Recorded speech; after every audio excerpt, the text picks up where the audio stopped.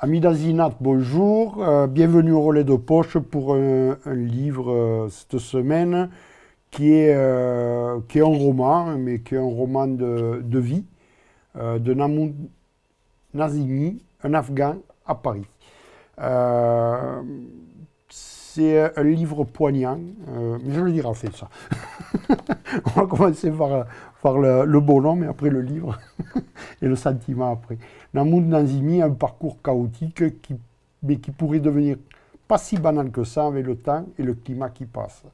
C'est un, c'est un livre, euh, avec son livre En Afghan à Paris, il nous délivre un trajet de volonté et d'intégration. En partant de Kaboul, et c'est cerf-volant, tout le monde connaît au moins cette histoire-là, pendant quatre ans, il a traversé l'Iran, la Turquie, la Grèce, la Macédoine, la Serbie, la Bulgarie, la Hongrie, l'Autriche, la Belgique. Il a séjourné dans le cas d'Amidaleza, de sinistre réputation en, Grèce.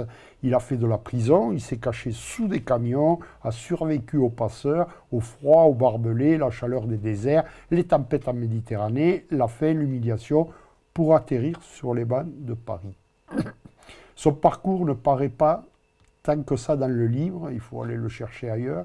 Il transparaît seulement. Ce n'est pas euh, un roman sur ce, sur ce parcours-là. C'est un roman sur son, sur son intégration dans, la vie française et dans la, la, langue française, puisque euh, ses, premiers, euh, ses premières révélations de la langue française se passent dans les cimetières de, Paris, où il découvre les grands écrivains de la littérature française euh, à travers les tombes de Montparnasse ou, ou autres. Il y parle de l'amour de sa mère également, de son premier amour d'adolescent, des accueillants en France qui l'ont accueilli et sa passion naissante pour les auteurs de France et de sa langue. C'est le, roman d'une intégration en France. Il est, euh, très, poignant, c'est pas, pas misérabiliste, absolument pas, c'est quelque chose de, de, très intime et, quelqu'un qui a su, euh, qui, qui sait montrer comment on peut s'intégrer euh, dans un pays et, adopter ses règles et, sa langue. Et, euh, c'est un livre très bouleversant au final, et cela suffit à vouloir le lire et à vouloir se l'accaparer.